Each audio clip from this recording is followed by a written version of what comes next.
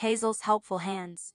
Once upon a time, there was a little girl named Hazel who lived in a cozy cottage with her parents.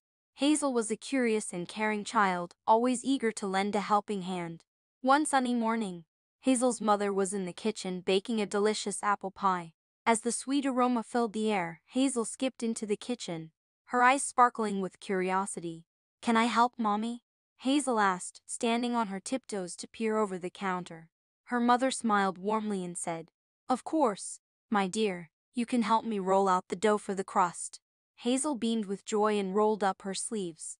With her tiny hands, she carefully rolled the dough, giggling as flour dusted her nose. Later that day, Hazel's father was working in the garden, planting colorful flowers. Hazel watched him for a while, mesmerized by the vibrant petals and the rich soil. Daddy, can I help you in the garden? Hazel asked, her eyes shining with excitement. Her father nodded and handed her a small trowel. Of course, my little gardener, you can help me dig the holes for the new flowers. Hazel eagerly dug into the earth, carefully creating little homes for the beautiful blooms. Her face beamed with pride as she gently placed each flower into its cozy spot.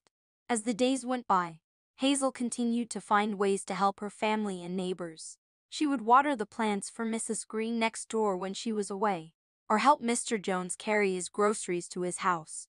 One day, Hazel's teacher at school asked for volunteers to help clean up the playground after recess. Hazel's hand shot up immediately, and she spent her playtime picking up litter and making sure the playground was tidy. Hazel's kindness and willingness to help quickly spread throughout the neighborhood.